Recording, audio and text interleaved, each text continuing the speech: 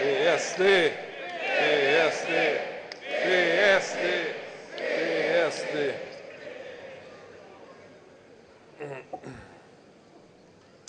Senhor Presidente do Congresso, Senhor Presidente do Partido, Senhor Presidente do Conselho de Jurisdição Nacional, Senhor Presidente do Grupo Parlamentar, Senhor Presidente da JSD, Senhor Secretário-Geral dos TSDs,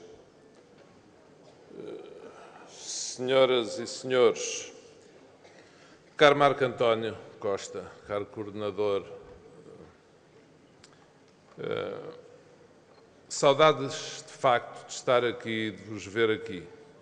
Eh, esta sala, como já foi dito hoje várias vezes, é muito especial na história deste partido e onde compreender que quem eh, já aqui passou umas vezes sinta uma emoção especial lembrando alguns momentos bem extraordinários da história do nosso partido.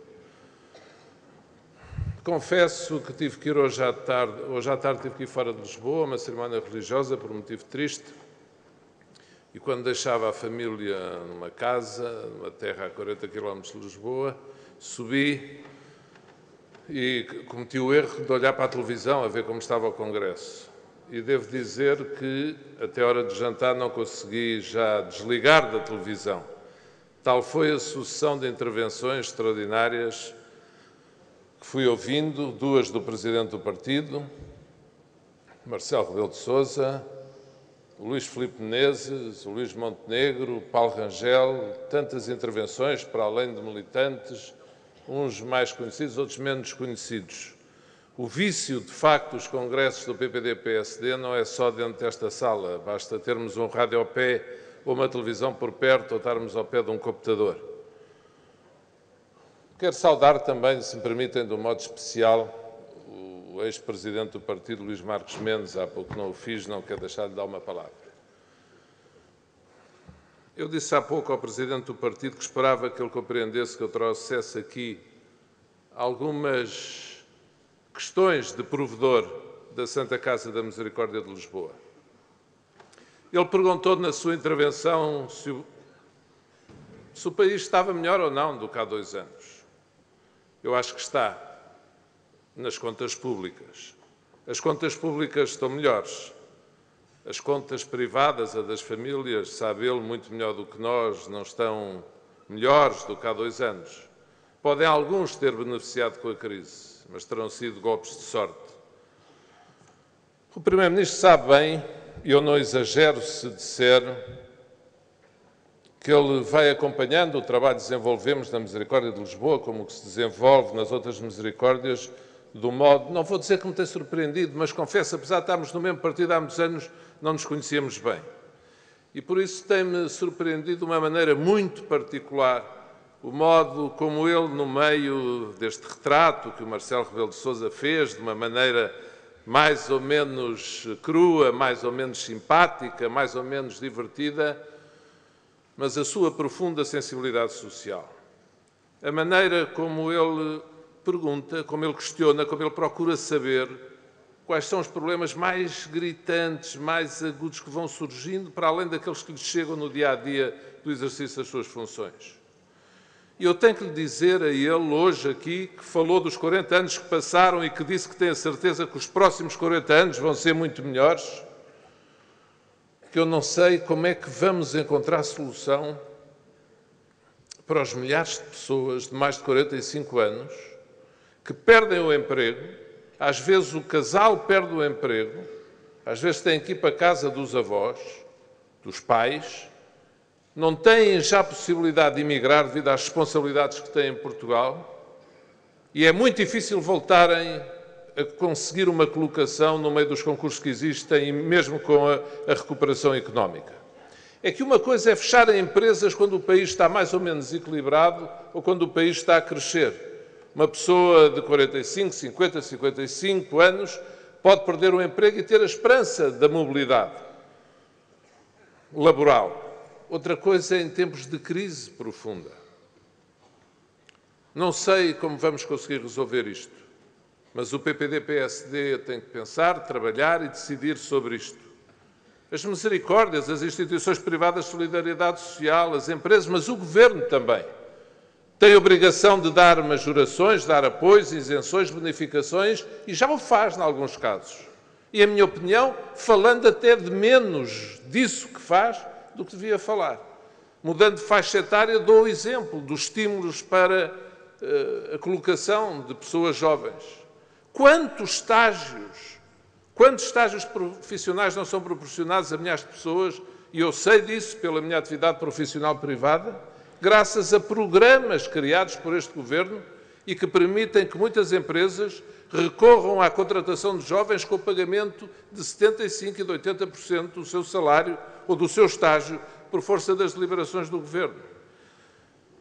Mas os jovens têm outra força, têm outra mobilidade. O que me preocupa muito por aquilo que ouço no dia a dia são estas pessoas que já não têm a força dos verdes anos como preocupam. Eh, ser Primeiro-Ministro é muito complicado. Ser eh, Presidente de Câmara também, Presidente de Junta também. Mas confesso-vos, não fazia ideia, eu que já desempenhei as funções públicas que desempenhei, o que é ser provedor de uma misericórdia, nomeadamente como a de Lisboa, e nomeadamente em tempo de crise profunda. O que toca ao telefone de manhã à noite por razões que nós tendemos muitas vezes, quando não temos a infelicidade do azar ou a pouca sorte de bater à porta das nossas famílias, e nós tendemos a esquecer até para nos defendermos, para não sofrermos, por muito generosos que sejamos. Imaginam quantas pessoas me falam preocupadas com o sítio onde podem instalar os seus pais já velhinhos porque os hospitais, caro Pedro Passos Coelho, não podem ficar com as pessoas de idade quando elas já não têm esperança de vida e os hospitais, porque têm também de poupar, não querem que elas lá fiquem quando já não têm esperança de tratamento. E a questão é o que fazer. E o que fazer é investir nas unidades de cuidados continuados, mesmo nos cuidados paliativos e estas questões vão se pôr cada vez mais em Portugal com o envelhecimento da população. Nós podemos pensar assim, nunca nos toca. O Marcelo falou há pouco a dizer que já está velho. O que faria se estivesse? O que faria se estivesse novo, quero dizer. Mas o que acontece? A frase dele lembrou-me o seguinte: Eu tenho a mania que ainda sou jovem mas é que os anos vão passando e nós, quando dobramos determinadas fasquias etárias, começamos a perceber que a vida não dura sempre. E começamos a perceber que aquilo que toca aos outros e às famílias dos outros, mais tarde ou mais cedo vai nos bater à porta. E quando olhamos para os lares da terceira idade e quando vemos as pessoas mais velhinhas sentadas, resignadas, à espera do dia em que se vão embora, por amor de Deus, aquilo não é envelhecimento ativo. Tivemos o ano passado, o Sr. Secretário de Estado da Segurança Social, temos ali outro Secretário de ex-Secretário de Estado da Segurança Social, o ano do envelhecimento ativo. Mas ainda há muito pouco envelhecimento ativo em Portugal. Há pouco exercício físico, há pouca educação na maneira das pessoas se alimentarem cuidarem de si próprias. Há poucas regras para as pessoas se prepararem para essa fase da vida olhamos para os países do Norte da Europa e comparamos o perfil físico das pessoas com as pessoas dos países da Europa do Sul. E só quando chegamos a essa idade e nos sentamos lá e fazemos parte de um daqueles que estão naquelas cadeiras cheios de saudades das famílias, que não têm tempo a os ir visitar, à espera de um dia, é que então pensamos e o tempo que eu perdi, as responsabilidades que eu tive e o que eu deixei de fazer por tanta gente que precisava que eu fizesse alguma coisa.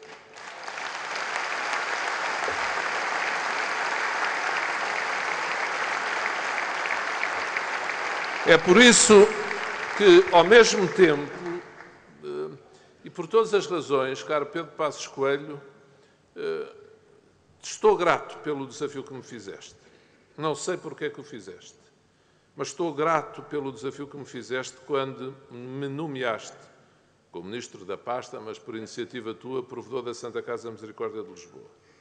E quero-vos dizer que a vida é assim. A vida dá muitas voltas. O que eu não me quero dispersar destes temas no pouco tempo que vos vou tomar. Mas o que já vi hoje aqui neste Congresso, o que ouvi pela televisão, leva-me a concluir que, de facto, como as pessoas não mudam, no essencial são iguais, mas as pessoas são muito ingratas perante a vida se não aproveitarem as oportunidades que a vida lhes dá. E esta oportunidade que a vida me deu, a mim pessoalmente, numa altura de crise profunda, poder ajudar a fazer o bem a quem mais precisa, é uma oportunidade extraordinária, pela qual tenho que dar muitas graças a Deus e saber ser reconhecido para com o meu país e principalmente por aqueles que esperam justiça. E é por isso que quero dizer também que não fico contente, fico triste quando leio não sabendo, não fui conferir a história toda do jovem teve que percorrer 400 quilómetros de ambulância para encontrar um médico da sua especialidade vindo de Chaves. Porque a questão da saúde, ser social-democrata é aquilo que eu vou percebendo que ainda é ser social-democrata hoje em dia, se a área em que eu sou social-democrata é da saúde. Se a área em que eu acho que o Estado não pode prescindir da sua presença e garantir os direitos básicos a todos aqueles que precisam deles, é essa área da saúde.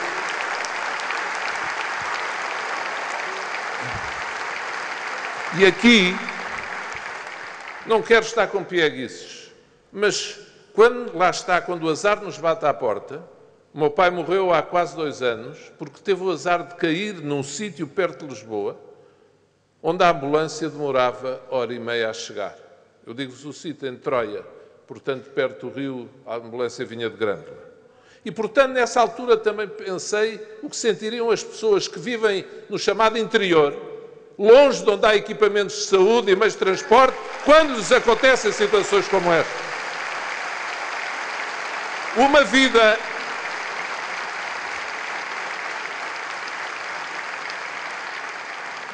Pode ser assim, mas este agora, por ser provedor da Santa Casa, acha que tem mais sensibilidade que os outros?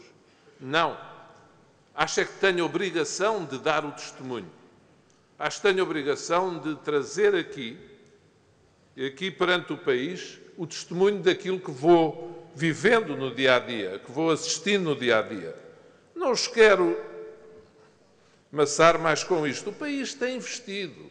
Este ano já inaugurámos uma série de, quando digo inauguramos, o país, uma série de unidades de cuidados paliativos. Mas sabem muitos aqui que tivemos várias fechadas durante meses porque faltavam sete, eh, eu nem vou dizer quantos milhões de euros, muito poucos, em cada uma, às vezes centenas de milhares de euros, para elas poderem abrir as portas quando já estavam completamente equipadas. E, portanto, é esta realidade do país concreto, do país que ainda sofre, e sofre muito, que nós temos que interiorizar. Eu compreendo grande parte do que a Ministra da Justiça está a fazer. A Justiça, ela procura levar a especialidade dos tribunais mais próximo dos cidadãos e a excepcionalidade daquilo que é generalista ter que centralizar esforços. Muito bem. Agora, a saúde não pode ser encarada da mesma maneira.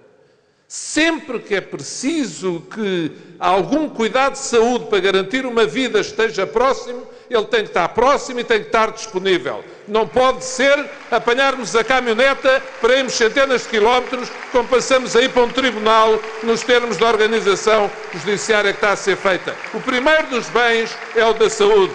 Primeiro e o mais importante, como sabemos.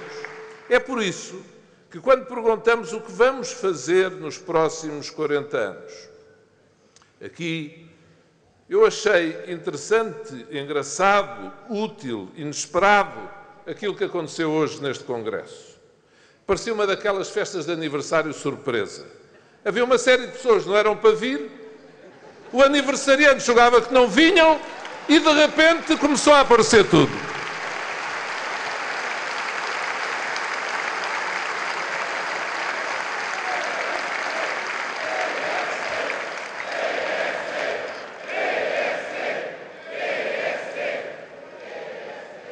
Eu acho que o símbolo do nosso partido até deve estar tonto, com tanta surpresa.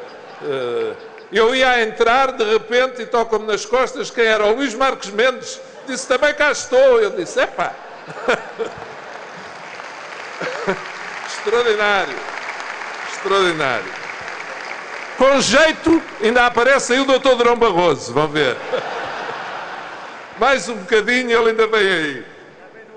Mas, enfim, se, se atrasássemos o Congresso uns meses, ele vinha cá de certeza. Hoje não pode, como sabemos. Hoje não pode, como... não pode mesmo. Está impedido de vir. Está impedido de vir. Agora, foi muito importante.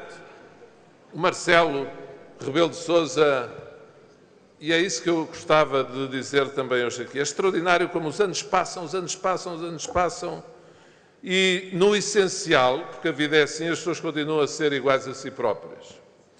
Hoje ouvimos aqui o Paulo Rangel fazer uma intervenção extraordinária, já vai lançada em campanha por aí fora. Uh, enfim, espero que tenha o mesmo resultado que da outra vez.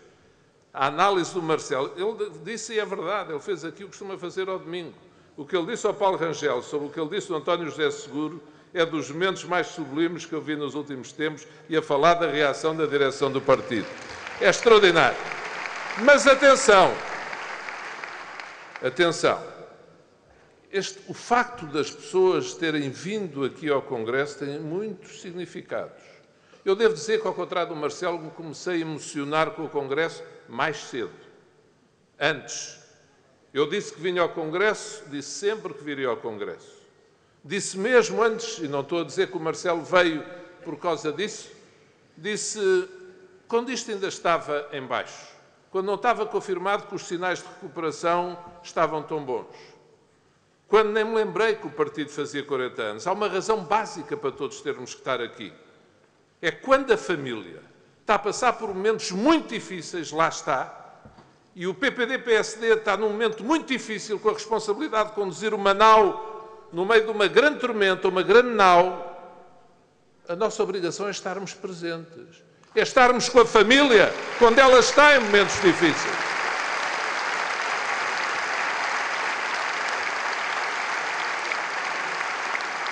Quando, quando o momento é de festa, estão lá muitos. Eu lembro-me em 87, quando disse ao professor Cavaco Silva que queria sair do governo, tínhamos feito 85, 87 com poucos. E eu disse-lhe, agora o senhor vai ter maioria absoluta, vêm aí muitos. Eu, nas alturas em que estão muitos, não gosto de estar. Preferi estar nestes dois anos. E, portanto, deixe-me sair agora do governo. Pois fui convidado para ir para a cabeça de lista ao Parlamento Europeu. Mas é isso que eu digo. Nestes dois anos e tal, antes de surgirem os primeiros sinais positivos, foi muito difícil defender o Primeiro-Ministro e defender o Governo seja em televisões de grande audiência, seja noutras, estão agora a dar os primeiros passos. Foi muito difícil. Agora, o significado de. Eu não estou a dizer que as pessoas vieram cá porque isto está a melhorar, mas para mim terem vindo cá significa uma coisa: reconheceram definitivamente a liderança de Pedro Passos Coelho e o seu papel imprescindível na condução dos destinos do país. Não é o caso do Luís Marcos Mendes. E com isso eu fico muito contente, porque vem tempos muito difíceis e o Sr. Presidente do Congresso, eu sei que não está a querer dizer-me que o tempo está a terminar, eu então vou, em uns minutos só, dizer ao Presidente do Partido... Olá, obrigado, Fernando Costa. Obrigado, a sério. Visitei-o-te às Caldas como provedor e admirei mais uma vez, tive a ocasião de admirar o teu grande trabalho e com as finanças equilibradas para o nosso Presidente gostar. Mas, mas gostava de vos dizer o seguinte: nós tivemos 40 anos. O Presidente do Partido escolheu o Dr. Balsemão para celebrar os 40 anos. Acho muito bem.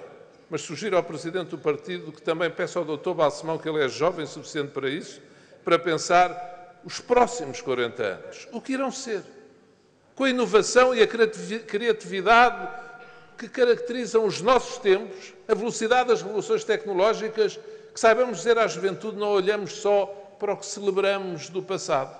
Sabemos e trabalhamos e procuramos preparar o futuro a médio prazo. E por isso eu quero dizer ao Presidente do Partido o seguinte: eu ouvi o que ele disse sobre a moeda única, sobre a Europa, sobre a União Europeia, e quero dizer o seguinte: não, espero que ele não me chame de demagogo nem populista, mas eu continuo a ter algumas dúvidas sobre se foi bom nós aderirmos como aderimos à moeda única naquela altura, tantos países com a mesma moeda, com as mesmas obrigações, com sistemas económicos tão diferentes. Foi um esforço enorme. Eu disse isto várias vezes em congressos. Era como entregar uma bicicleta, bicicleta a duas pessoas. Olha, tu partes lá atrás, tu partes daqui, a bicicleta daquele lá atrás pior que a deste, e agora tem que chegar ao mesmo tempo à meta. Eu lembro quando chefiei o governo em 2004 e 2005, estávamos a renegociar o Pacto de Estabilidade e Crescimento. Porquê? Porque a Alemanha e a França tinham violado o déficit e queriam logo mudar. Já não é só estabilidade, também pode ser crescimento. É importante crescerem as economias. Na altura do déficit dos 3%. A questão é esta. Nós passámos pelo que passámos. Queremos passar outra vez? Eu ouvi o Presidente do Partido dizer que os nossos parceiros europeus foram muito solidários connosco. Sem dúvida. Mas eu vou dizer uma coisa: as duas intervenções primeiras externas, nós ainda não estávamos na União Europeia, em 78 e 83. Nesta já estávamos. Há uma parte de responsabilidade da nossa dívida, que é dívida da União Europeia. Não é só nossa. As nossas políticas ano a ano eram analisadas pela União Europeia, eram analisadas em Bruxelas. E, portanto, quando há propostas para, em certa medida, pensarmos numa mutualização de parte da dívida, será isso tão errado? Eu já ouvi dizer precisamos muito da supervisão bancária. Sem dúvida. Precisamos muito de alguma centralização em Bruxelas para garantir a disciplina orçamental. Muito bem. Mas Portugal deve suscitar a questão. Oh, meus amigos, e se isto acontece de novo? Eu ouvi o Presidente do Partido dizer isto aconteceu exatamente aos países que usaram demasiadamente a desvalorização cambial. Talvez, mas não, não a terão usado porque eram economias mais débeis logo à partida, tiveram impérios coloniais e por isso tiveram que desvalorizar para aguentar a competitividade com outras economias mais fortes. Eu tenho algumas dúvidas.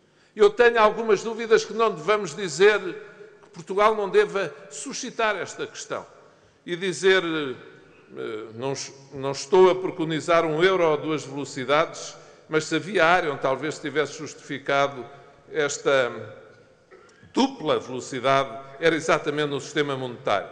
Segundo ponto, recuperação económica. Ela está aí, mas sente-se principalmente nos grandes centros urbanos.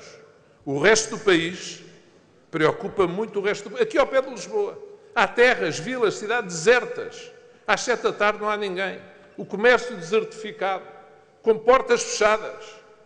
E, portanto, há uma diferença, e o Conselho de Ministros tem-se pronunciado sobre isto, sobre a importância do combate à desertificação, com medidas concretas. Há uma diferença, até na tal velocidade com que a recuperação vai chegar aos bolsos das pessoas que vivem na Grande Lisboa, no Grande Porto ou nos centros urbanos e as outras. E por isso mesmo é bom que pensemos como sociais-democratas nesta questão. Terceiro ponto que eu eh, gostaria de realçar hoje aqui. E aqui também uma ligeira diferença em relação ao que disse o Presidente do Partido, mas eu acho que cá no fundo pensamos da mesma maneira. Se pensarmos diferente, olha, paciência. Mas pelo que eu vi na intervenção inicial, a reforma do sistema político e a revisão constitucional, todo acordo não é agora o tempo para fazermos a um ano de eleições legislativas, seria impossível. Mas, a propósito dos 40 anos e de Sá Carneiro e de Passos Coelho, eu tinha escrevido um artigo em que os comparava, em certa medida, em certa medida, tudo tem o seu tempo, a seu tempo veremos o teu lugar na história. Mas lembrem-se como já com Sá Carneiro se falava na Constituição e no referendo.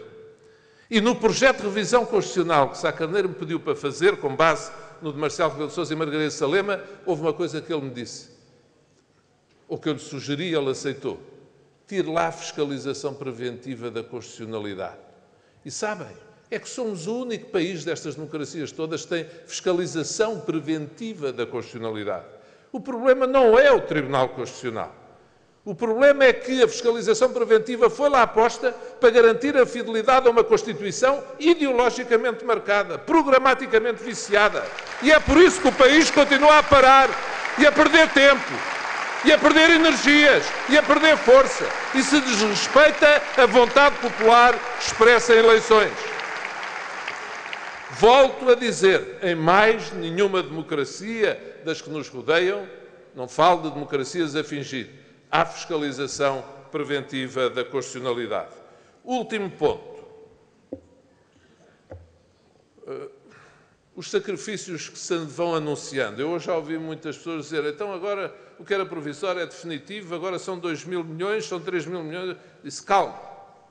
Mas para termos calma, e aqui refiro-me a um ponto da intervenção do Luís Montenegro, é preciso que não estraguemos o que aí vem com aquilo que já foi referido hoje aqui no palco. Às vezes não explicamos como deve ser aquilo que tem que ser muito bem explicado. Já foi falado aqui o esforço enorme que fizemos na renegociação das PPPs. Muito bem. Digo-vos, no trabalho que tenho no dia a dia, do que mais ouço. Ah, estão-nos a mexer nas pensões, então vão lá mexer nas PPPs. Pois renegociou-se cerca de 300 milhões de euros por ano, como disse o Luís Montenegro, durante estes 30 anos que aí vêm. Mas é preciso dizer dessa renegociação quanto é que está incorporado de redução das rendas, dos benefícios, das mais-valias dos concessionários. Porque foi um escândalo. Aqueles contratos eram um escândalo. Quando, como Primeiro-Ministro, em 2004, quis introduzir as portagens nas discutes, e o, e o partido, coitado, apoiou-me como pôde, que era muito difícil em algumas regiões, em que eu dizia não há dinheiro para pagar isto. E o engenheiro Sócrates me chamava todos os nomes, e agora, e dizia já, porque olhei para os contratos e vi, isto não pode ser assim. E para nós dizermos às pessoas, nós temos direito a ir pedir um esforço nas pensões ou nos salários, porque sim, senhor, fomos aos pensionistas com pensões mais altas, mas os mais poderosos, os que têm mais dinheiro, não são esses. E os outros, os da PPPs, e um dia se fará a história das PPPs em 2004, esses das PPPs, nós temos que dizer claramente que também saíram a perder com a crise, saíram a perder mais do que aqueles que têm menos, para termos autoridade moral para irmos agora para diante, pedir mais austeridade, mais esforço aos portugueses. Último ponto sobre o partido. Eu, o Marcelo disse aqui que o partido é bom por ser assim livre. Cada um diz o que quer, onde quer, como lhe apetece, isto é extraordinário, dá uma grande força ao partido. Eu admito que sim. Mas eu continuo se algo que o dia de hoje mostrou, é que continuamos iguais a nós próprios e deixem-me ser igual a mim próprio. Eu acho que há limites. Acho que há limites. Ninguém, ninguém tem que ser expulso. Isso é com os órgãos jurisdicionais, não vou meter nisso. Lembrei-me há pouco, quando entrei por aquela porta, que em, do, em 1997, 8 ia a entrar e estava uma pessoa a usar a palavra que disse lá vem o jet set. Quem era? António Capucho. Isto a propósito. Convivi durante muitos anos com ele e todos nós. Mas as pessoas, quando propõem normas, têm que saber que têm que as respeitar, cumprir e sujeitar-se a elas. E sabem que mais? Eu admiro muito as divergências programáticas, de fundo, de convicções. Eu não gosto é de ver as pessoas divergir a partir do momento em que, não por causa de convicções, mas de funções. Deixam de ser conselheiros de Estado e entram em ruptura com o seu partido e com o governo, que ele é o primeiro responsável. E disso eu não gosto.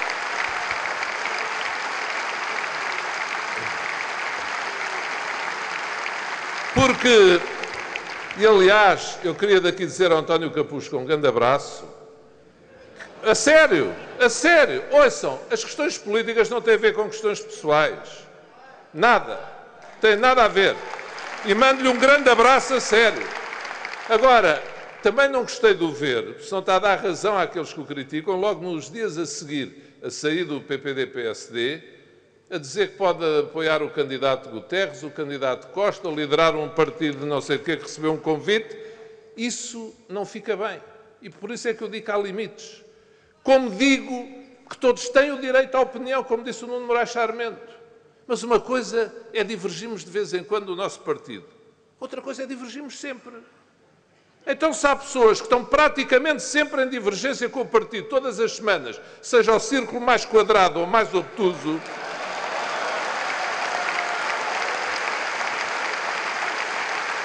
A questão. Porque, minhas amigas e meus amigos, a questão é de consciência, não é de normas disciplinares.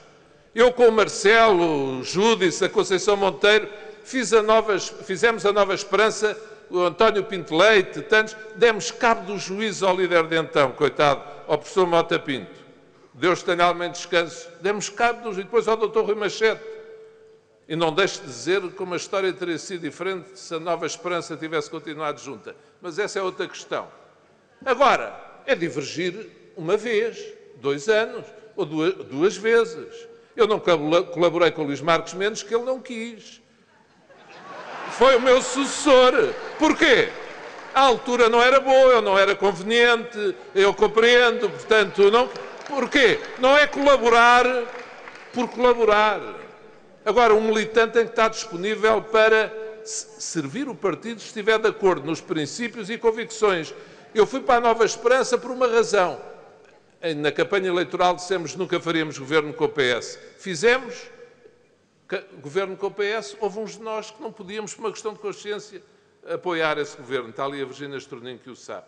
E por isso eu quero dizer, os partidos têm regras, porque senão éramos independentes. Mas a questão não é de normas nem decisões, a questão é de consciência. Eu, se estivesse sempre em divergência com este partido, dizia, há aqui qualquer coisa de errado. Como nos casamentos. Se as pessoas deixam de estar ligadas uma à outra, o que é que acontece em Portugal e no mundo de hoje. E são questões sérias e muito sérias. É que isto, estas diferenças todas já levou, eu não quero dramatizar, mas houve que o governo já caíram. Morreu há uma semana o general Soares Carneiro. Quando Sá Carneiro não teve que lutar contra Ianes e enquanto ele era vivo diziam que ele não estava bem porque dizia que o general Ianes queria fazer um partido a partir da presidência. E Sá Carneiro morreu em 80 e 85 nas eleições, lá veio o PRD nas eleições. Sá Carneiro tinha razão. E o que lhe disseram? E eu lembro-me de quem disse, e quando disse, e como disseram. É por isso que nós perdemos muito tempo a aturar aqueles que no partido se julgam mais inteligentes do que os outros. Esse é o ponto. Viva o PSD! Viva o PPD-PSD! Viva Portugal!